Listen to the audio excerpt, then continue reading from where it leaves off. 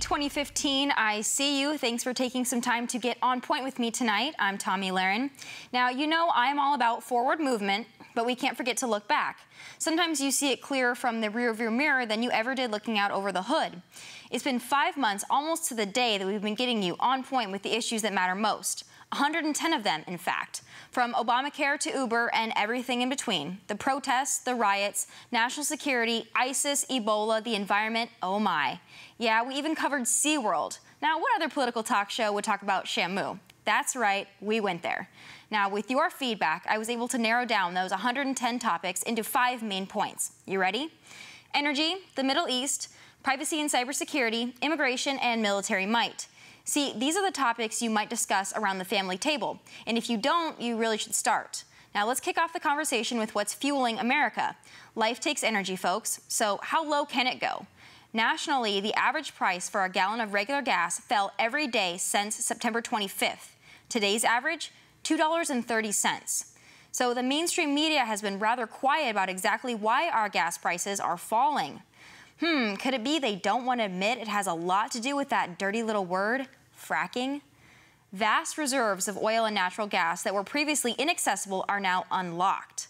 Now, some will tell you that domestic production doesn't make our gas prices drop. So, okay, there are other factors, sure, but it's simple economics. When oil supply outpaces demand, prices drop. So, what is fracking? I chatted with geoscientist Terry Engelder from the documentary Frack Nation a few months back. Take a look and get on point. Don't even understand. They get all riled up about it, but they don't even know what it is. So, how do you frack? Fracking is a process that involves splitting rock that is very impermeable. What that means is that this rock, it's called a gas shale, it's a very black rock, holds gas very tightly, and that gas doesn't flow out uh, easily or naturally. And so, what happens is that companies will drill down into this shale and uh, from this well that they've created, they will pump in water under relatively high pressure. That water literally causes the rock to split apart, and it's those cracks driven out into the rock that allow this gas, very tightly held, then to flow up a well bore and be produced. Okay, so you mentioned the process behind it. Now, I know a lot of the misconception is that this hydraulic fluid that they use to extract this is so toxic and so horrible. Can you shed some light on this? Is it really so bad? The fluid that is used has additives. The additives are many uh, of the types of common products that we would expect from a household, including dish, uh, dish soap, um, disinfectants of uh, one sort or another. Uh, uh, this is the type of material that is underneath the kitchen sink. And of course, it's understood that you would not drink that uh, undiluted. And in fact, the, uh, the companies that use these types of materials dilute them greatly to the point where uh, they are not nearly as, as toxic as they would be in their concentrated form. I think one of the other things to keep in mind in all of this is that these fluids are pumped down into the ground in a gas shale. Only about 20% of the fluid comes back.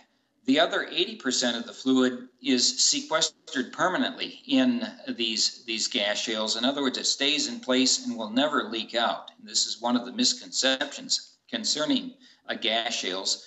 Just this week, I published a paper in the Journal of Unconventional Oil and Gas Resources that describes this process of sequestration the technical term is imbibition. And uh, imbibition can be pictured as nothing more than the action of a sponge soaking up this water. And uh, of so, course, a sponge can hold a great deal of water. Terry, this doesn't seem so scary. So how come the anti-frackers have had such a loud voice? I think partly is because they see the documentary Gasland and they see that faucet water going up in flames. I know that this was addressed in Frack Nation, but can you tell our viewers that this is a bunch of baloney with this, this water lighting on fire supposedly because of fracking? Well, I'd rather answer the question in another way. I, have just published another paper recently that describes the six early mistakes that industry made. And it's very important to appreciate that, that this is a very complex industry. There are risks. Industry, however, when they learn of these mistakes, act to correct them. For example, one of the early mistakes was not to sample a groundwater, a drinking water wells ahead of time and explain the types of uh, natural chemistry that's found in, in that type of water. Now, what happened, of course, was that uh, a number of people, either environmental activists or people who wished to profit from these mistakes, then went out and further um, exacerbated public fear to the point where people like Josh Fox then were able to make movies that that are um, packed with misinformation and sensationalism and, and, and, that's another thing i want to address as well. So if we're speaking specifically to dimock pennsylvania they the epa showed that their drinking water was fine. So how come the debate didn't end there? The epa itself said your water's fine well, in fact, uh, something else just happened. I've, I've submitted a third paper that we're going to describe that has gone back and analyzed the famous water well explosion in Dimock that set all of this off in the first place. And a very careful analysis shows that the event, whatever it was, did not release enough energy to mimic a gas uh, explosion in this particular vault. Now, it's not clear exactly what happened. Seamus McGraw, for example, in his book End of Country, offers a theory. But one thing is certain the violence that one expects from this type of an explosion, the heat that one expects from this type of explosion do not manifest themselves. And yet the media ran off with this particular event, called it a, a gas well explosion, blamed it on, on in, industry. And the evidence since that particular event suggests that something else may have happened. Now, here is why this is so important to understand. Science is science. The extreme environmentalists are clouding the debate. Along with their buddies in Hollywood, they are repeating the same narrative. Well, it's a false narrative, and I take issue with that. There are legitimate concerns with fracking. We have to pace ourselves and do it safely. But stop demonizing oil companies for flaming tap water and other overblown claims and outright lies. That leads me to my next clip Keystone. This 1,200 mile pipeline between Canada and Nebraska would bring up roughly 35 million gallons of oil per day. Again, the fringe environmentalists are pushing their agenda, and they're in the ears of folks like President Obama. Now, from mining to the car, a barrel of oil sands crude creates 17% more greenhouse gas emissions than average oil. But there's a twist. Even the State Department said that that oil will get burned regardless. So the question is, where do you want to get your oil from? Canada or Venezuela? Now, the new Republican dominated Congress has vowed to put this pipeline at the top of the agenda. We all have a stake in this, baby. I spoke with senior fellow at the Manhattan Institute, Mark Mills, about Keystone, and here is what you need to know. Is building the pipeline in the national interest? And if so, will Obama see it that way? Of course it is. And not only is it our national interest, Canada is the United States' biggest trading partner. I'm biased here, I'm Canadian, but it's our biggest trading partner. And North America is a very friendly place to produce oil for the rest of the world. One point, just a quick uh, observation about the Keystone Pipeline that's important. The heavy oil that it will carry from Canada will replace heavy oil that those refineries in the Gulf Coast currently buy from Venezuela. So it's a direct swap from buying exactly the same kind of oil from a friend, taking it away from a not so friendly country. So what's the delay on this? Uh, as I said before, two-thirds of the American public is in favor. It seems like it's gaining bipartisan support, though it did fail in the Senate. Uh, that could change, obviously. So what's the holdup? It seems like everyone's all for Keystone. Well, this has become a, a, classic, and no pun intended, considering it's the oil sands, a line in the sand issue for extreme environmentalists who wanted to block it as a symbol of uh, their opposition to oil and hydrocarbons. And many of the honest ones will tell you, will say that it in fact is a symbol. Obviously, the oil will go somewhere else. It'll go to China. It will get exported by rail or pipes to the west or east coast of Canada. So it's not going to stay locked up in the ground. It is simply a political symbol to the detriment of the best trading partner and great ally of the United States over really all of the uh, history of this country. And as you mentioned, it's going to get there anyway. It's going to be burned anyway. Even the State Department said that. So, mm -hmm. what gives in this situation with the environmentalists? Do they really have a stake in this? It's going to get burned either way. So, why not let it go through our backyard? Well, it's it's a. Uh, you're asking me. I'm a physicist, not a a psychiatrist, so you're asking me to figure out read their minds or why they drew a line in the sand on this one. I can uh, I can understand tactically why they picked a project that was dramatic and easy to explain as a line in the sand to oppose to get Obama administration to not support it on the basis of their worries about uh, climate change, about burning hydrocarbons. The real problem is obvious one is has no practical effect at all. If if you are serious about reducing the use of hydrocarbons, you don't do it that way uh, it will make no difference. And in fact, if the oil sands were never used, it wouldn't make any difference because so much more oil is being produced elsewhere in the world outside of the United States and elsewhere in the United States, frankly. And if they don't use the pipelines, as you mentioned before, they're going to use the rail shipments to do so. And isn't that actually more dangerous, uh, more likely to cause accidents and environmental damage that way? Well, pipelines are certainly the safest way to transport uh, oil. There's no question about it. Turns out the rails are pretty darn safe too. When you look at the the quantity of oil moving on rail uh, on rail and the very very rare accidents, statistically extremely safe. However, it, it's more dangerous, so it'd be nicer not to do that.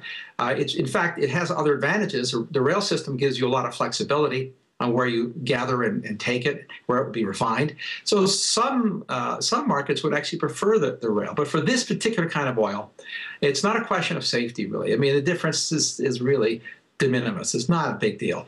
The real issue is that it's just economics and a practical issue. It's the best way to get that oil to the Gulf Coast to replace Venezuelan oil Venezuela has not been our friend for a long time. It would not make a scintilla difference because it's exactly the same kind of oil.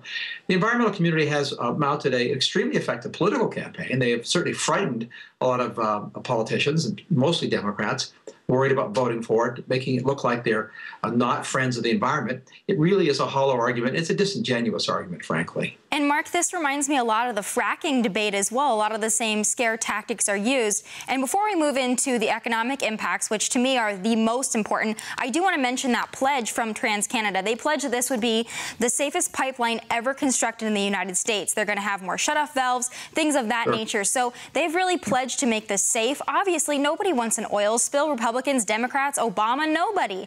But if they're making that pledge, as long as we hold them to it, I see the environmental, environmental impacts as being way overblown.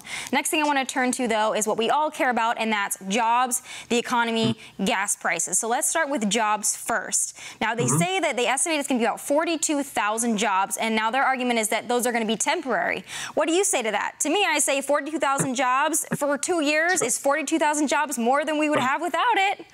Well, it's a bit of an irony here. That's an infrastructure system. Pipelines are infrastructure.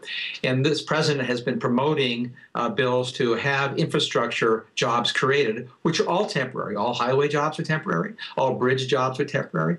Every infrastructure job is temporary. And that's the nature of building infrastructure. You build it, you're finished, it's a temporary job. It's a high paying job. And if you do lots of temporary jobs in a row, you have a nice, nicely employed economy. Coming up next, Mo Diab, Philippe Assouline, and the great debate. If you missed it before, here is your second chance, so you better keep it on point.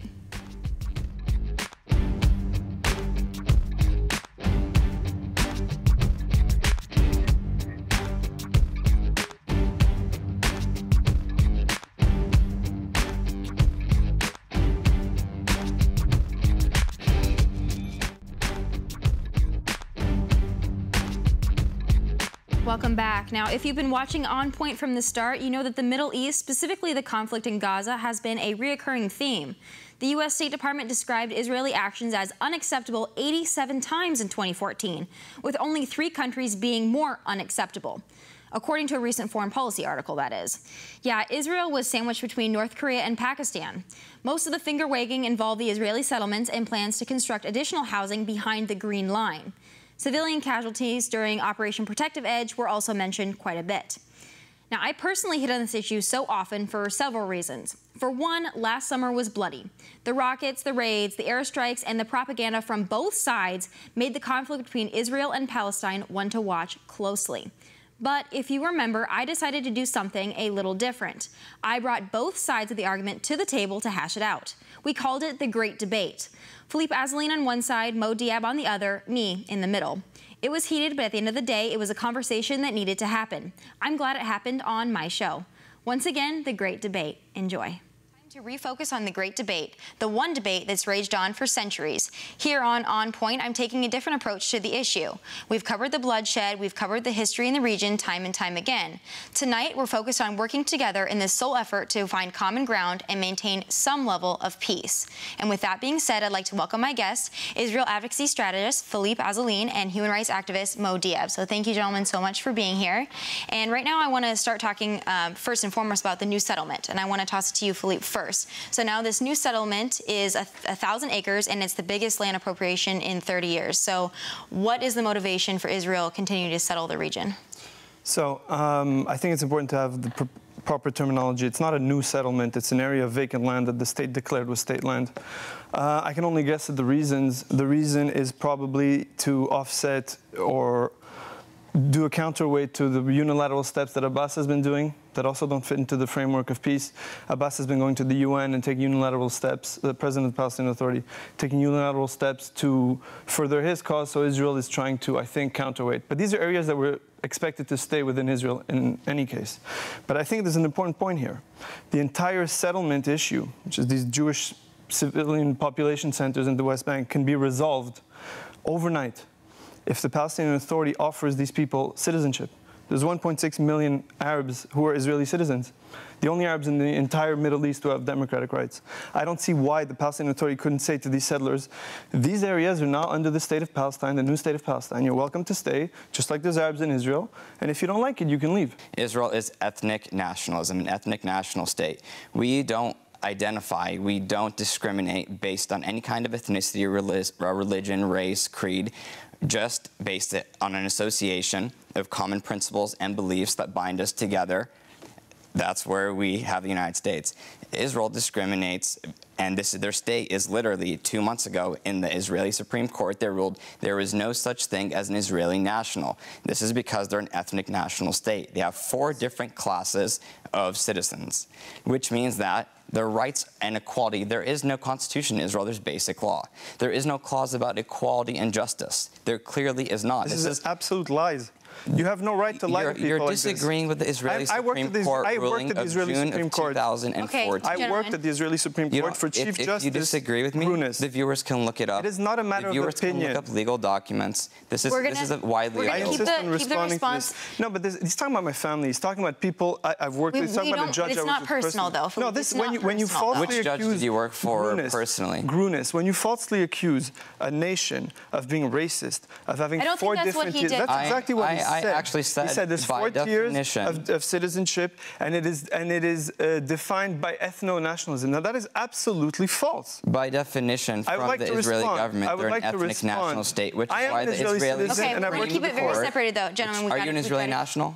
Yes. We have there is no such thing separate. as an Israeli national that is absolutely not Israeli true. Supreme that is Court absolutely not true. I'd like to respond. I think your viewers have the right to know facts and not be manipulated emotionally by the these viewers triggers have the right. of racism okay. and all these we're other not, words. We're going to keep racism. We're going to keep all those things out of it because we're not going to do the said. name calling. But we're not going to do I the name call, calling. But the name, so, I was called a name. I was called as an Israeli, part of a country that this is absolutely false. Supposedly is different than America and discriminates against people. And I think it's important for your viewers to have the actual facts. They can make their opinion against Israel if they want, but they should do so on the facts. I, I you have a duty here to inform. And he is coming here and spouting absolutely egregious, manipulative okay. this propaganda. is what we're going to do. Manipulative we, propaganda we want to keep propaganda. Existed, okay? We're not going to discuss Who the existence. And what year was gentlemen, it founded? Gentlemen, we're going to go to break. We're going to come back. We're going to move forward. We're going to talk about solutions because obviously we, I would like to address the issue of Israeli law. And the problem with the mainstream media is the world sees Americans as the Obama administration and all the decisions that they make. When in reality, we have all of our freedoms here, and we're not afraid to speak out. In the United States, if we criticize Obama, it does not make us anti-Christ or anti-Christian. However, if we speak against the Israeli policies in the government, we're labeled immediately anti-Semitic. Or if we speak it, against Palestinians, we're Islamophobic. We are, we are, we are both, scared both to speak in you're right. I agree. I agree. It, it, I don't see what the relevance. I don't see what the relevance of the this, relevance this monologue is. is. I want to talk about what I see. He, he, he made a point. I'm not stereotyping. That's what I want to address. All right, we're gonna, we're gonna we have to. In, in the interest of time, gentlemen, legally, the 22 Arab countries are not democracies, Philippe, and they have rules legally. against in the other time, religions. Philippe, we have an ethnic nation state, not really? like America. no. We really have to but be done the 22 at Arab this countries point. are. Okay, we really have to be done now. So after the great debate, I invited both Philippe and Mo back on separately to discuss unrest in the Middle East. This summer saw another tumor of unrest, ISIS. President Obama made a particular point of declaring that the Islamic State terrorists did not represent Islam. Now, most Americans find that hard to believe, but wait a second. There are extreme Muslims, but there are also extreme Christians, Mormons, and Jews. You may be surprised to know that most Muslims hate Islamic extremists more than you do. Now, as a Christian, but also as a patriot, it was important for me to have an educated discussion about Islam. Now, I invited Mo Diab back to the table to get us on point. Here it is. The most important thing to understand is that when you hear the terms such as Islamist or jihadist, they're actually used completely out of context when in uh, referencing jihadist, but the term Islamist is just a derogatory term. It's a device to take Islam, link it to something that represents radicals and extremist Muslims, and replacing it with something that sounds like Islam, just like Christianity to Christians, Islamist to Islam. It's this association. And when people make this association, they start thinking that all followers of Islam support this, when in reality, we should just be calling it Muslim extremist, because there are Christian extremists, there are Jewish extremists. Right, they're extremists in every religion. Of course, and these extremists represent a small, small percentage of people of that faith that don't follow that faith in the, in the reference of ISIS. ISIS claims to follow Islam, claims to uh, follow Sharia law. However, they're killing Muslims, they're killing Christians. So if they were following the, um, the principles uh, and the pillars of Islam, they would not be behaving in this way. And what we're noticing too is that the mainstream propaganda, the mainstream media is using these terms Islamist and jihadist again and again. Over and over again. And no one really knows what they mean they use the terms and they associate them with these videos, and the videos are of these extremists killing people and swearing death to the United States and the West. When in reality, who are they? They are a group of sociopaths. They are a group that listen to what their leaders say, who are, and they're a group of people who are well paid. ISIS is receiving anywhere between 2,000 to $3,000 a month for their members. That's more than our um, United States service um, men and women. So it's not necessarily about religion for them or fighting for religion. It's the core of it is money. The core of it is money, in my opinion. And I do believe that none of the principles of Islam are demonstrated in their actions. Their actions are actually sociopathic. Now, in the name of balance, I also invited Philippe Assouline back on the show to talk about propaganda. Now, the Israel-Palestine conflict was full of it. Pick a mainstream outlet, they ate it up. Let's look back at what Philippe had to say about trolling and fiery rhetoric. Take a look. Social media war is becoming, uh, in my opinion, one of the central battlegrounds, as you said at the beginning. Um, it is very powerful in perpetuating the narrative which to my chagrin, I think is much more solid on the extremes than in the center, uh, the, the, mainstream that wants peace. The Palestinians have been, uh, I wouldn't even say the Palestinians, it's anti Israel advocates have been using social media to push a narrative of absolute victimhood on the Palestinian side. Uh, they use emotional triggers that everybody has in their repertoire. So to some people, it's apartheid. To some people, it's genocide. Whatever it is, that triggers the right emotions, and they've been pushing through this false use of, of these words and accusations, a narrative that I think is an impediment to any progress and to any peace. Do we see that on both sides, Philippe? Because I'm very aware of Twitter right now. The hashtag Gaza under attack is still popular, even now, and people are still tweeting about it. But I see it on both sides. Is that something that you see as well? There's definitely an effort on both sides to win over public opinion by social media. I don't think by any stretch of the imagination, and I, I mean, I was working in this and I'm studying it now. I don't think by any stretch of the imagination the Israelis or the pro Israel side is anywhere near as organized or as focused or as relentless as the anti Israel side that likes to call itself pro Palestinian. But I don't think uh, groups like Students for Justice in Palestine, for example, are very popular in the US and they've achieved a very big presence in social media. Um, they are much more professional in pushing a narrative, which I have to say is often dishonest or, or uh, half honest. Philippe, and the Israeli they... side is not as uh, the Israeli sorry the Israeli side is not as professional, uh, not even close in doing that. Mm, still ahead, we know the government is watching, but who else? A look back at privacy and cybersecurity is next. Keep it here.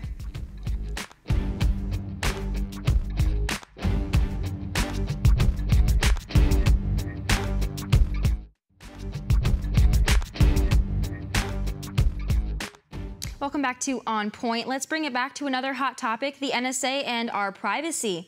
Now, many of you probably didn't know that the night before Christmas Eve, the NSA dropped hundreds of pages worth of reports. Now, some of those reports detailed U.S. citizens that were inadvertently swept up in the government's surveillance. Now, they say this happened due to unintentional technical or human error. But if you believe that one, I have some prime swampland to sell you. Thanks to Edward Snowden and German news outlet Spiegel, we're getting a new look at the agency's routine interception of web servers, and we now know that the NSA can decrypt virtual private networks. But the good news is that as of 2012, certain emails and chats were still indecipherable by the NSA database when encrypted with the right tools. A while back, I spoke with the Deputy Director of Gap National Security, Kathleen McClellan, about the failed USA Freedom Act and the future of privacy in America. Take a look at what she had to say whether or not we need the Patriot Act is, is an important question um, because if you remember, it was passed in um, October of 2001 in response to the 9 11 attacks. Right. However, we learned later on that it wasn't actually a lack of authority that made the government misintelligence leading up to 9 11, it was mismanagement and a failure to identify and share intelligence that the government actually had. So is there a national security need for this type of metadata collection? I know the Obama administration has said in the past that it's crucial to national security efforts that they collect and store these things. Is there any merit to that argument? Um, and could they make that argument with the growth and expansion of ISIS and homegrown terrorism that we're seeing now? I mean, I think that the Obama administration could certainly make that argument, but it was um, it was Senator Mitch McConnell that we heard making that precise argument in the days leading up to the bill, and and I have no doubt that that contributed uh, to killing the bill. The Obama administration actually supported the Freedom Act, but I think what's universally agreed here is that the bulk metadata collection program has not caught one single terrorist. No one is saying that. The White House's own handpicked review group agrees that it hasn't caught terrorists. The Privacy and Civil Liberties Oversight Board agrees. The authors of the Patriot Act agree that this program should end. Nobody seems to think that this program should continue. So the question is why isn't Congress able to pass a bill ending it? And my question is why, if it's not proving to be successful in catching terrorists, why do they want our records in the first place? I mean, maybe it's the conspiracy theorist in me, and I'll try not to think the worst, but to me it just seems pretty blatant. I don't know why they would need to collect this information, especially for U.S. citizens, if it's not solving any problems. You know, I think that's a very good question. And uh, I don't think that a conspiracy theory is even necessary to have a problem with this kind of collection because it's not about what they're collecting. It's about uh, who they're collecting it on and why they're collecting it. And you don't need to be a conspiracy theorist to, to want to trust but verify the government. And I don't find myself using that quote very often, but this is an issue that's not partisan. And it's an issue that liberals and conservatives can agree on because privacy affects everybody. So we know our government is watching, but who else? From Sony to PlayStations and even the White House. 2014 was the year of hacking. In fact, I would go as far as to say that hacking is the new national security threat to keep our eyes on in 2015. Think about it. How often do you use the internet, a credit card, or heck, even open up your laptop? It seems like someone is always watching. So what can we do to protect the country and our personal cybersecurity? I spoke with CEO of BVS Systems and cybersecurity expert Scott Schober about this very issue. So watch and learn. One thing everybody forgets about is with social media and especially celebrities, you can't use the basic questions there. What high school did you go to? That's Rather, true. use that as a password. If you have three security challenge questions, why don't you use three different passwords or even random data that no one else would do? Then no one would ever be able to, to get the security challenge questions. That's what I typically do. And I understand that too, Scott. And we need to be better at protecting ourselves here because at, at, the end of the day, it's us and it's also the companies. But I want to bring it back to you said passwords. What do you tell regular folks like me that have 15 different passwords with numbers and characters and asterisks and exclamation points, and we, we can't remember all these complicated things? What do we, what do we realistically do here?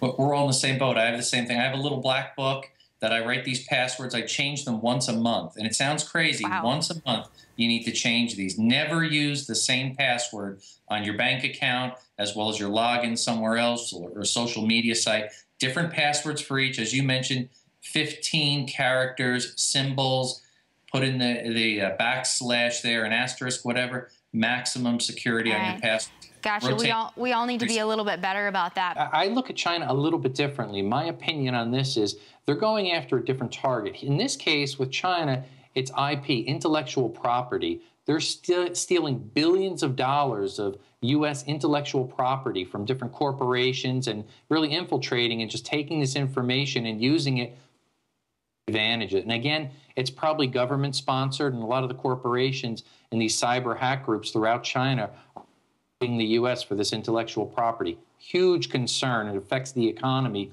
globally and especially right here in the United States. And you had mentioned the economy being at stake here. Are we taking cybersecurity seriously enough? You mentioned we do have Cyber Command, but is the government realizing just how vulnerable we would be if we don't take this seriously? I think they're learning very quickly. You see how spending is increased it's got the attention of every government agency across the board now. And they're actually establishing and working with uh, universities, setting up cybersecurity centers of excellence. In fact, we're working with a, a local university here to get these departments up and running, eh, not just so they can address these uh, threats, but even to train the workforce. So you have a cybersecurity workforce that, that can be used. There's a need for well over 50,000 jobs just in the cybersecurity arena to, to work for government agencies to help to, to, to prevent some of these uh, attacks and the threats. So there's a huge need, and a lot of its education is needed, number one, and, and the government is, is kind of frantically trying to find how to get all these bodies there to fill these right. needs immediately. Next, one of my favorite topics, immigration. Also, looking forward to 2015, the GOP is going to need some help from the Latino community. What can we do? Well, I'll remind you. Keep it here.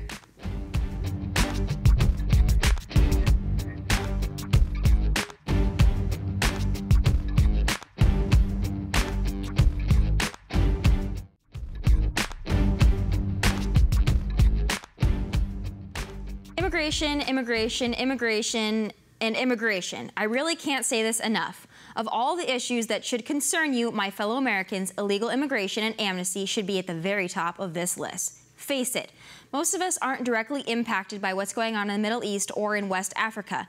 We care about things like missing Asian flights and the Ebola epidemic, but unless you're a nerd like me, a nuclear Iran probably doesn't keep you up at night.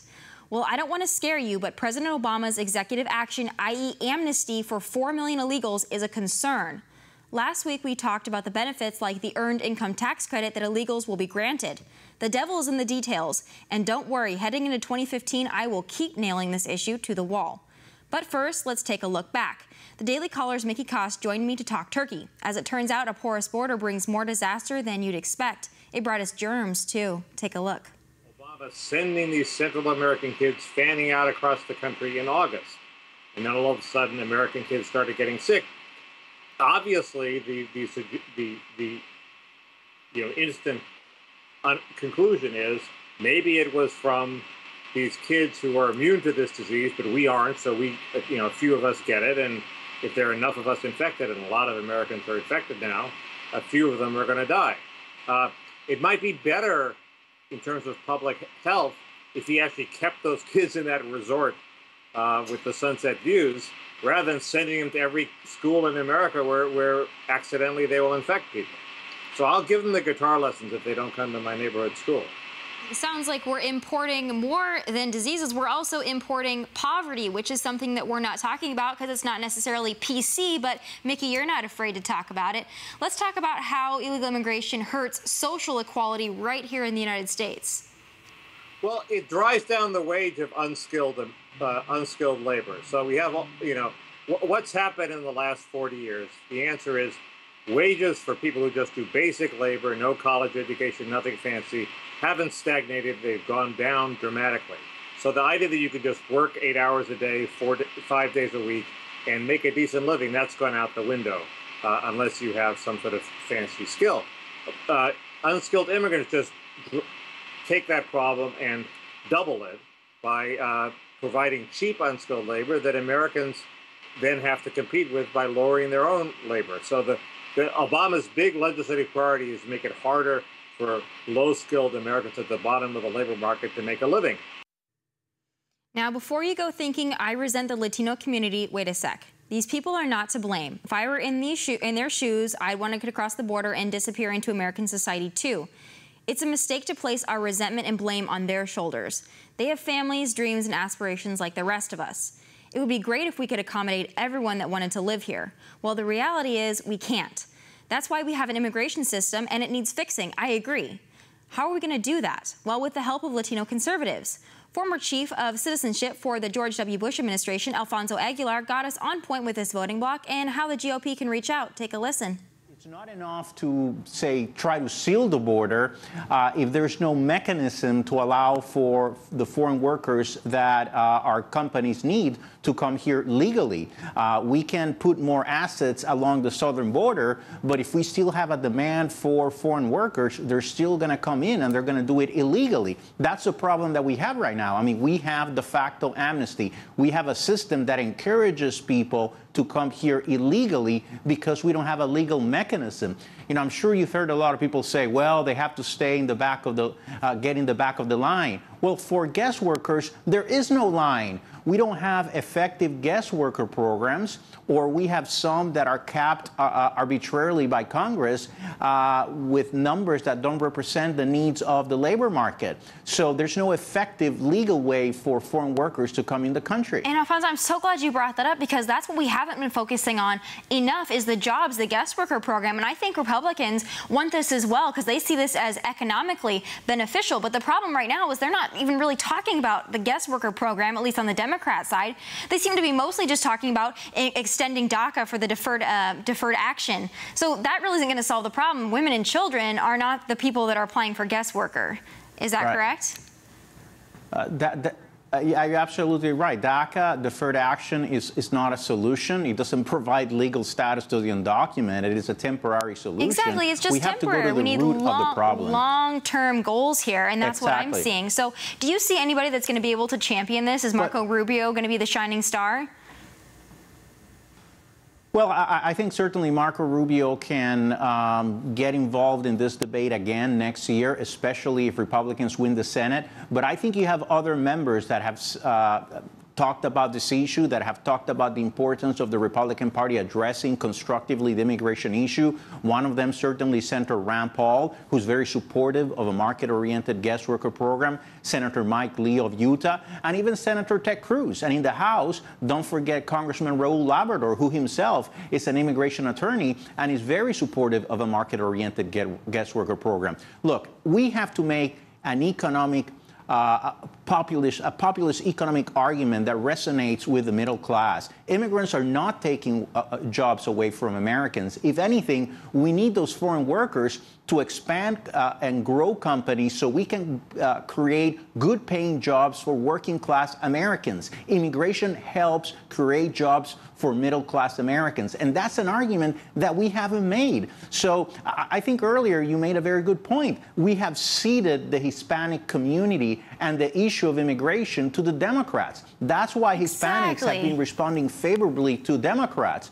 But we have to reclaim this issue. We have to engage Hispanics with a positive message that it's not uh, what Obama is proposing, it's right. not amnesty, but is a plan that is based on conservative principles. Because guess what? They can help our economy. And I think a lot of people, especially in middle America, are people that seem to be anti-immigration. If you attack this issue from an economic standpoint and we show people that immigrants can really help our economy if they're given a pathway that's legal and they're allowed to come in here and actually benefit us, I think think that the, the dynamic of the debate will completely and entirely change.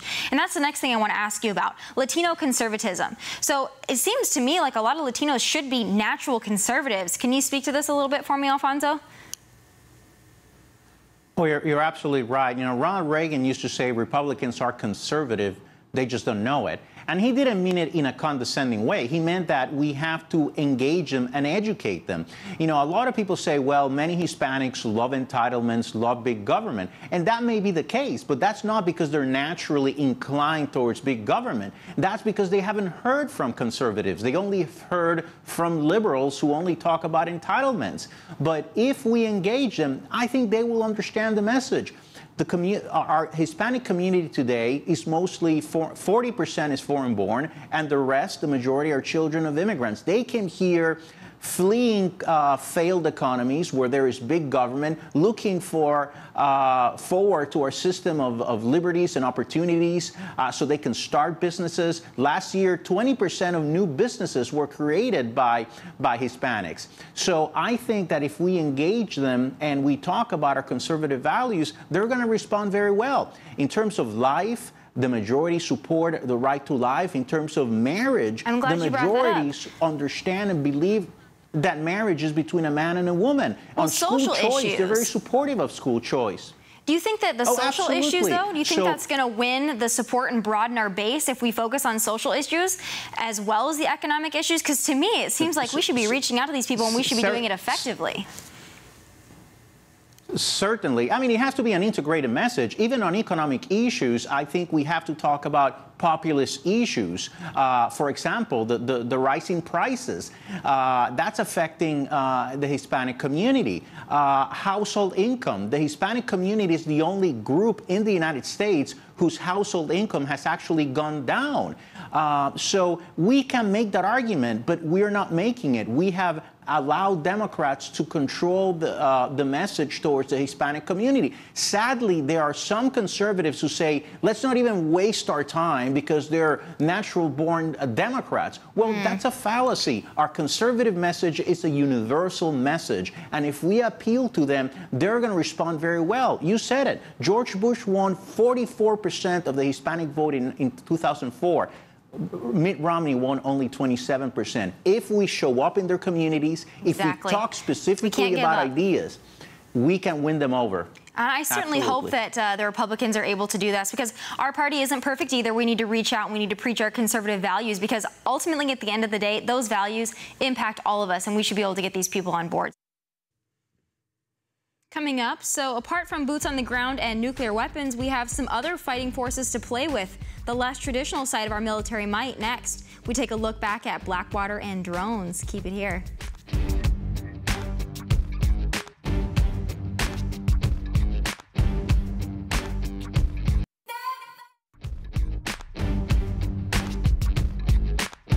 Thanks for keeping it on point. Time to talk military might, but with a twist. We've covered military and special ops many times. Hey, I love me some military. But in addition to the traditional boots on the ground and support our troops talk, we also hit on some less traditional methods of force. Not all soldiers are created equal. In fact, some of those men fighting our battles aren't soldiers at all. They're paid to kill. Yet, private defense contractors. You've probably heard of Blackwater, the most infamous private security firm. Well, after seven years of investigation, four Blackwater guards were convicted of murder and criminal manslaughter after an incident in Nisour Square, Baghdad. Now, does this prove that military might cannot be outsourced? I invited senior fellow at the Center for International Policy, Matthew Hoh, to the On Point bullpen to shed some light on the dark side of Blackwater. Here it is. The way they differ is that they are a private company. They fall under a contract, just as if you have a service contract to uh, cook food or deliver fuel or clean laundry. It is a contract that's bound by the same rules and regulation that binds other kinds of federal contracts. So there's actually a project manager and a contracting officer that oversee these security guards. Additionally, you have uh, State Department's diplomatic security if they're attached to a State Department team, who also look over them. But the problem is, is that you maybe only have a handful or a half dozen diplomatic security officers to police hundreds, if not, and actually thousands of security guards. Now, this case obviously changes the game. Um, in 2007, Congress subjected them to the Uniform Code of Justice, so they actually have to report to someone. But now this case kind of stirs things up a little bit. Is this going to set a precedent? Are we going to have more oversight in the future? I I hope it does. I hope it does. There's been um, movement. Senator Pat Leahy uh, of Vermont has been pushing for years now to uh, increase the oversight on security contractors overseas, um, but that's gone nowhere. Um, so this is for those of us who are saying, look, this is very dangerous. Warfare is inherently a government responsibility. It's inherently a military responsibility. When you outsource it to private companies, their primary responsibility now is to either their shareholders or to their board, not to the policy of the United States. Additionally, too, what you have is you have um, not a military chain of command. You have a corporate chain of command that, again, is not responsible directly to the military, but is responsible to a contracting officer and a project management manager, completely different than saying, you know, having Marines or soldiers responsible to a company commander or a battalion commander or a division commander. And Matt, so, and you mentioned earlier that you actually have worked with these contractors Yeah. in the past. So, in your opinion, do they deserve their bad reputation, or was it just a few bad apples that are ruining it for all of them? I, I think the problem, Tomi, is that what you have is you had certainly the guys I worked with, 98% of them were great guys, terrific guys, noble intentions, good intentions. But the problem is when you're in these wars, when you're in the middle of a civil war where nothing makes sense, in particular, say those wars in Afghanistan and Iraq, a lot of awful, absurd things are going to happen. And when it's not being controlled by the military, you have the case now of uh, war activities, uh, war making activities being conducted by private companies. You now have that profit motive in there, which makes a difficult situation, being in the middle of a civil war, even more difficult. Private military contractors aren't the only tool in our defense arsenal. Nope, hand to hand or even bullet to body warfare has a cousin, the drone. President Obama likes to use them to take out terrorists, but our videographers here at One America like to use the much smaller version to get shots of a different kind. This is all very rele- relevant now because commercial drone operations are likely to be regulated in 2015 in the U.S., which possesses the world's biggest military drone fleet. The FAA has been promising to make drone rules public early this year. You know, I'll get you on point with that, but in the meantime, let's look back at our very own On Point drone segment. Roll it.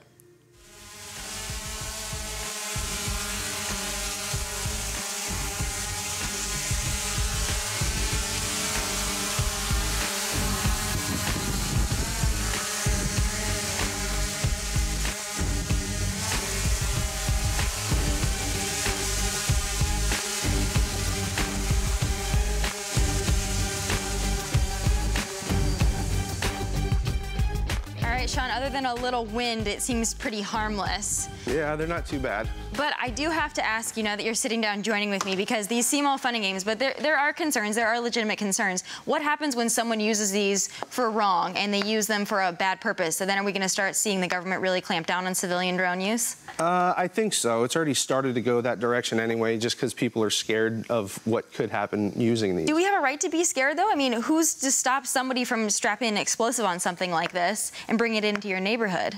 It, it's a good question, but there's people been doing using vehicles for things like that for years. I mean, they, you did the same thing with uh, with cars in Iraq. You know, strap it to the uh, a car and drive it right through the front of the base. It's the same concept. I mean, it's something it- to always be scared about. It just seems like someone with a remote control. I think that makes people a little nervous. I know myself seeing it and being able to tangibly have it in front of me, it doesn't look so scary. But obviously, with these becoming more and more advanced, do you think as they get better technology that people have more reason for concern? I think with the technology advancing on this end, it's going to advance on the, the counter side of it as well. I mean, there's there's radar jammers that have been around for years. It's the same concept with this. There's ways to knock these out of the sky using lasers. You know, so um, it's it all runs on RF signal. So if you don't have an RF signal, it drops. I Is mean- that going to change though when the technology gets better? Are more people going to be able to operate these? Are going to have better capabilities, and then people are going to get a little bit more concerned? Uh, there's certain frequency bands that you can operate on, and you're, we only have access to certain frequencies uh, in the civilian marketplace. The government operates on higher powered and, and different frequency bands than us. So we're never going to have access to those. It's always going to be military. And even so, you can overpower and walk all over the signal of these anyway. So you're not Okay. going to really be able to fly them if you don't want to fly them in a certain area. As soon as that technology advances. I have to ask you because you make it look easy to fly one of these. But for someone that's not familiar with them as you are, are these pretty easy to fly? Could anyone learn how to use these? They, in theory, um, Theory is not like a remote control pretty simple. plane? Uh, no, it's easy on a remote control plane. Um, the biggest thing with this is orientation. They've got a bunch of sensors in there. You've got accelerometer, barometer, GPS. Um, all these things make it pretty relatively simple to fly. I can release the sticks and it'll hold its position when you're outside as long as you have a clear sky and a good GPS signal. Um, what messes people up, I mean, we've got veterans that have been flying for 20 years, airplanes and, and helicopters, stunt pilots that come in and crash these all the time because the orientation can kind of throw you off. Well, it's, not learning. It's got a learning curve to it. You have to learn Exactly. how to do it. I want to ask you too. We talked a little bit about the terror aspect, but how are these going to change the economy? What can these do for us that people probably don't understand? Well, um, that's the biggest thing about the FAA right now is they want to get their cut because a lot of people are starting to use these, creating small businesses, um, using them for existing businesses to get aspects and shots that you could never get back. What about like agriculture? I know we were discussing that earlier, talking yeah. about drones just here in the office. Everyone's really interested. Everyone wants to weigh in. So we're talking about for agricultural purposes. Right. If ranchers and farmers want to fly over their fields, look at their crops, look at their livestock, something like this going to save people money and help our economy. What do you think? Absolutely. Um, this coupled with multispectral imaging is is huge, and there's a lot of Kickstarter campaigns out there for it right now. Um, uh, stitching images together, you can actually uh, check for uh, droughts in areas, um, high uh, insect uh, populations, and things like that. So it's definitely going to be an asset to the agriculture market. And, and the last few years, a lot of companies have been ramping up creating models for just that because it can save uh, farmers and you know. Well, it seems really practical to me. So as I understand it, there's not a law against commercial drone use, but rather a policy. Can you speak to this a little bit? Uh, it's based on the AMA regulations that have been around for years, uh, not over 400 feet, not within five miles of an airport, and not for commercial purposes, which... So then you mentioned for commercial purposes. So if I want to go fly one of these for fun, I can do it, but if I use it for a commercial purpose, then I get a slap on the wrist, or what happens to me? Correct. So the FAA started issuing $10,000 cease and desist letters to certain companies. Okay. Uh, they've been countersued by them and lost numerous times. Um, they're not a regulatory body, so they can't really do that, um, which is why they've lost lost those cases. Uh, I, I, think that there needs to be some regulation just based on some of the customers that have come into my store and okay. knowing what they do. Um, I, I, think it definitely needs to be regulated, but I think the biggest holdup is the FAA trying to figure out how we can make money off of this and do it safely. Right. And they don't have very much time to figure it out because these are becoming more and more common. So I guess we're right. just going to have to wait and see. But I'm glad you mentioned that, that there does need to be some regulation. We just need to have common sense answers to it, I think. And I hope going right. forward that maybe the government will be able to, to do that in, in this instance. Yeah. Still ahead, it's called the American Dream, but I want to change that. How about the American Grind? Dreams are great, but action is better. My final thoughts are next, so keep it on point with me.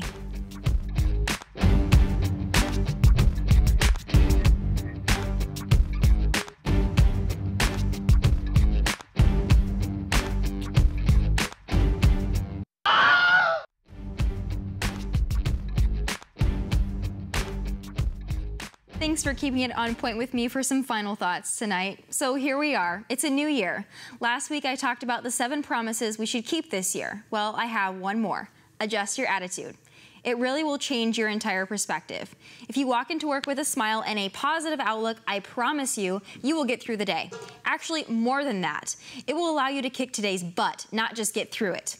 We all have a job to do. Do it and do it with pride. Bet you didn't know the creator of Flamin' Hot Cheetos was actually the janitor at a Frito-Lay plant right here in the Golden State. Yeah, he spoke little to no English, but he had an idea and the will to do something about it.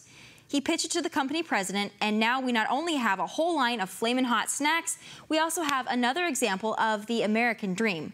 Richard Montanez now leads multicultural sales and community promotions across PepsiCo's North American divisions.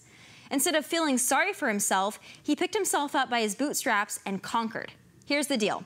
If you're having a good day, it'll probably get worse. But on the flip side, if you're having a bad day, it'll get better. Nothing in life is constant. That's a good thing. Think about it. If every day was perfect, life would be so boring. The struggle is part of the story. Did you make a mistake or do something really embarrassing? Shake it off. You'll laugh about it someday. We always do. Let's talk about equal opportunity for a second. Life isn't fair. But we all have the same 24 hours a day, seven days a week to work towards something. It's your butt, you move it.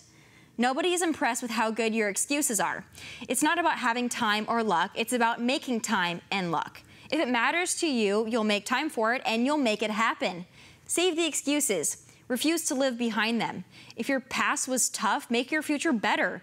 Don't repeat the same mistakes, whether they're yours or someone else's. It's a waste of time. Call yourself out on your own BS and you'll move mountains. Lastly, surround yourself with good vibes. We all have energy. What's yours?